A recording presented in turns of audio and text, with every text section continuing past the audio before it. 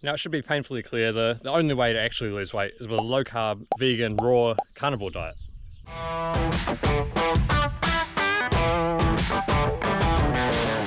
As soon as you make a nutrition video, no matter what you've done, no matter what your expertise, people lay into the comments about their experience and how you're wrong, you're working for big sugar, you're having all these chemicals. Uh, sorry to those who commented who I've called out, but honestly, you're entitled to your opinion, but, but unfortunately your opinion is wrong.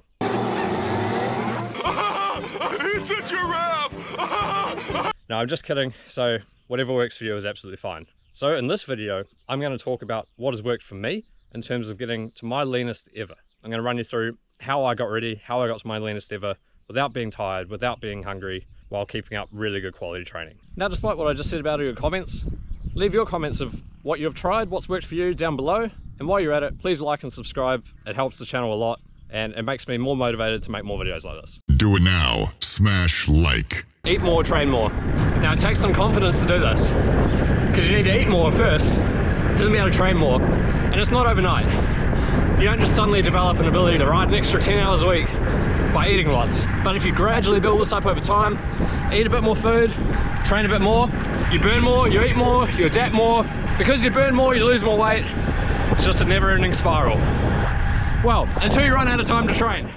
Now, if we ignore performance for a second and we just simply talk about weight, weight loss, weight gain, weight maintenance, it's a simple matter of physics. So I'm going to jump off the bike because this involves a little bit of maths and uh, riding up a little hill while breathing and uh, trying to do some equations is not the most simple thing to do. So at the end of the day, it's all about energy. So what is energy? Well, it cannot be created or destroyed. You hopefully learnt that in school science class.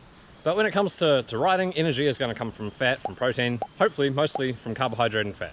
Now in terms of energy burn, the first thing is you simply exist, don't you? Hopefully. You're here on this earth, it just takes energy to exist. Now this is your basal metabolic rate, what it takes to exist. And you can plug this into any online calculator and it's going to give you a reasonable estimate of how much it'll take you simply to survive. Now depending on your job, your daily activity outside of exercise, then you can make a reasonable assumption about how much energy you're actually burning just per day. Now we get to the, the interesting bit, so riding. So you might have seen kilojoules of work done on your screen, especially if you've got a power meter, then it'll actually be quite accurate as long as your power meter is accurate. Vegeta, what does the scouter say about his power level? It's over 9,000! There's no way that could be right! Now kilojoules and calories, you hopefully know, are different things. And when we talk about diet, things like that, we tend to talk about calories.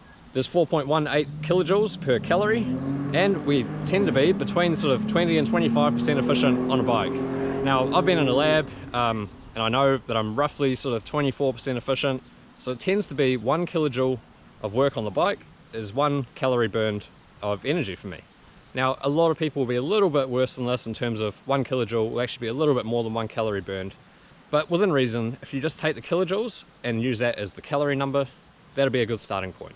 And why is this? So a watt is a joule per second. 1000 joules is one kilojoule. So if you know the power you're riding at and the time you're riding at, you can work out the kilojoules burned. We can then apply this factor of kilojoules of work done through the power meter, how uneconomical the body actually is at using metabolic work to create power output on the bike.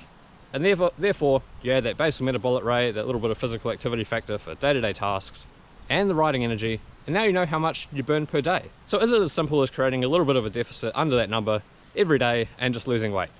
Well, you can do that, especially if you just want to lose weight. But if you want to train hard, perform well, there's a bit more nuanced way to do it, and this is what I've been doing.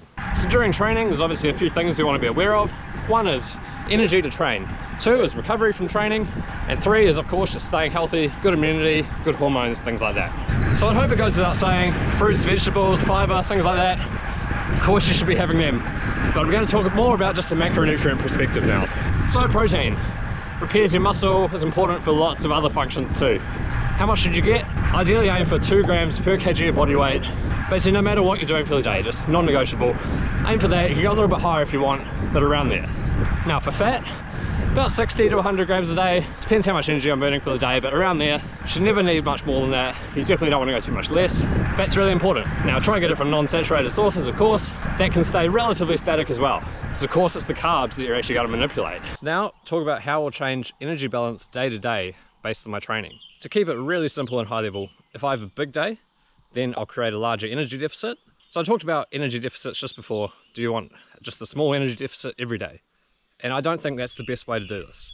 And the reason for that is you need to fuel for what's coming up and recover from what you just did. You also need to think a little bit about what type of substrate you're burning during exercise. So what happens is people commonly think about a 24 hour period of eating and they go, oh, I need a, energy balance or energy deficit, something like that.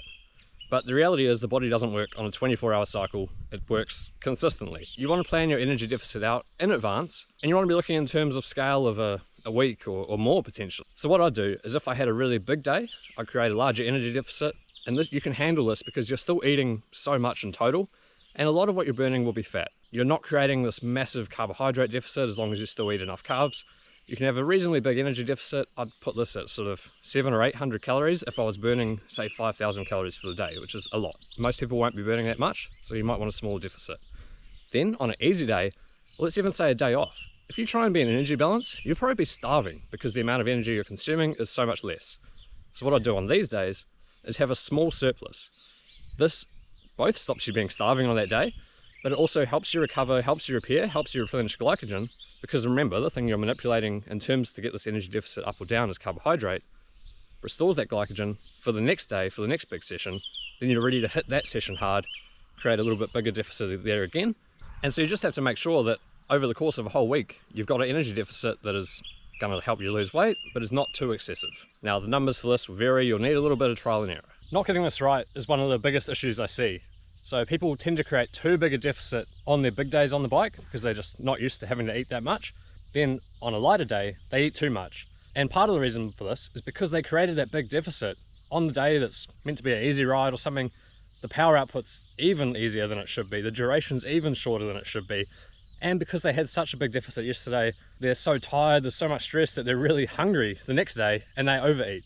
So not only are they riding less, doing less power, doing less training overall, but they're probably still eating the same amount or more because they distributed it wrong. So fixing this is one of the biggest things to this method. So how do you know how much you are eating? How many carbs, how much protein, how much fat, how many calories? Well for me, I was really going hard at this. Uh, in preparation for race I really wanted to do well in and it's got some big hills. So I was weighing everything, tracking everything.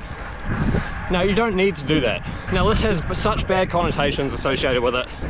People starving themselves, restricting themselves, things like that. When you're training a lot like I was, it's actually more the opposite.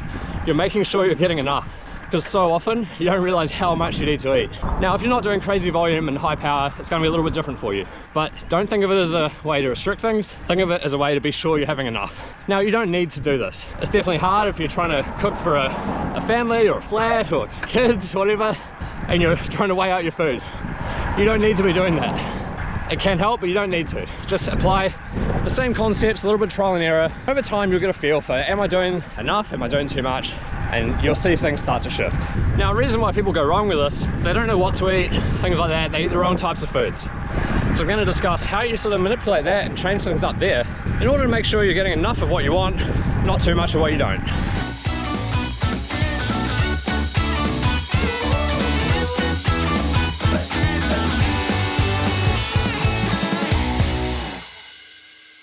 So what you'll notice if you do a big weekend ride, you burn a lot of energy and then you do track your food and you eat just normally, you'll eat tons of protein and tons of fat. Even if you're eating perfectly healthy, you're eating a nice, normal, balanced diet. And this is because protein is in all foods, fat is in most foods. And so you just end up with so much of it and there's no reason to go too excessive. So what I would do is change my diet a little bit on these bigger days. On a big day, I have less protein containing animal products, things like that. So, and I would replace those calories with carbohydrate up to a point where I needed them at least. Now what this does is make sure I was fueled for training that day, make sure I was not under too much stress, make sure I'm ready for the next day, but it keeps my total energy intake within check. And likewise the same with fat. People will go, oh, I've done a big ride, I'll eat a bunch of like muffins and cakes and stuff. They're high in carbs, replace them. And yes, they, they are, but they're also very high in fat and probably not good fat either.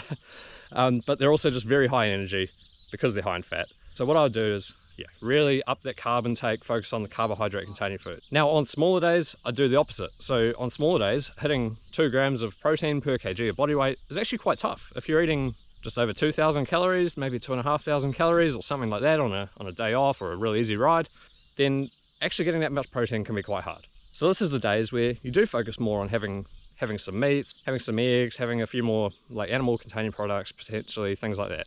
Now, if you're on a, on a vegetarian or vegan diet, just the same principles apply just with other foods. Now, another thing to be aware of is obviously if you're trying to lose weight, you're in an energy deficit, you're going to be having to burn something of yourself to sustain that deficit. So hopefully this is mostly coming from fat, but some of it will be protein.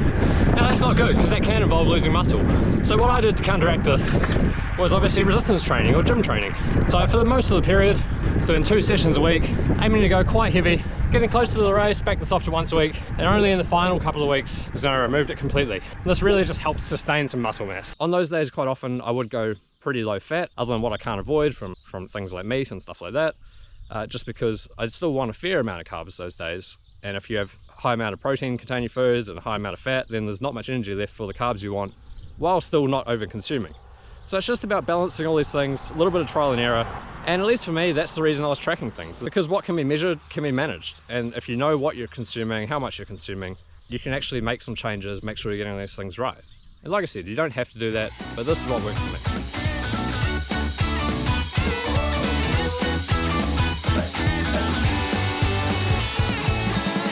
A can of VB there. Um, yeah, also avoiding that will, uh, will help you as well.